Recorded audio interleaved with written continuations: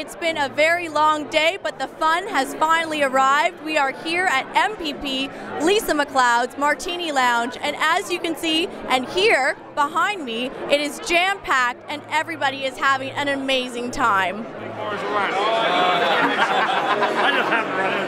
It's been a wonderful time so far, and I believe what is most important is a continuation of what we've been doing with Tim as leader since last July of building the strongest, best political team built on principles and ideals. What's your favorite quality about Tim Hudak? Decisive leadership.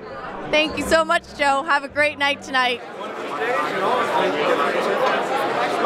I'm with MPP Lisa MacLeod for Nepean Carleton. Lisa, how are you doing this evening? I'm fantastic. It's a great turnout here at the Ontario PCAGM and a great turnout tonight at the Martini Lounge that I'm hosting for all delegates and alternates. That's wonderful. And so, Lisa, this is a really new feel for the convention this year. Could you expand on it and tell us a little bit about it? Well, we decided this year we would do something different. We would actually become more innovative, we become more exciting, and we become more family friendly. So tonight we're going to be um, having a lot of fun here in the Martini Lounge. My own little girl is down in Miller's Convention, and of course, uh, so many people here are just uh, so energized after a great uh, by-election win in Leeds and Grenville and a great by-election fight in Ottawa West Nepean. We've got an energized PC caucus, and Tim Hudak is going to be the next Premier of Ontario.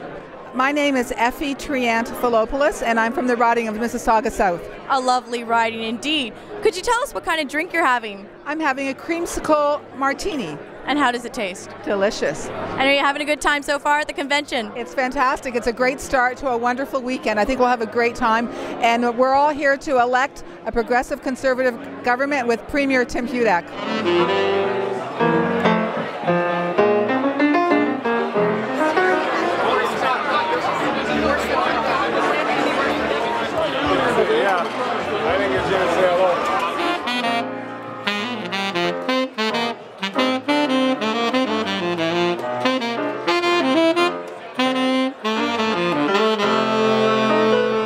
Well, that's it for me for now. I'm off to go get one of Lisa MacLeod's famous martinis, but stay tuned for more updates.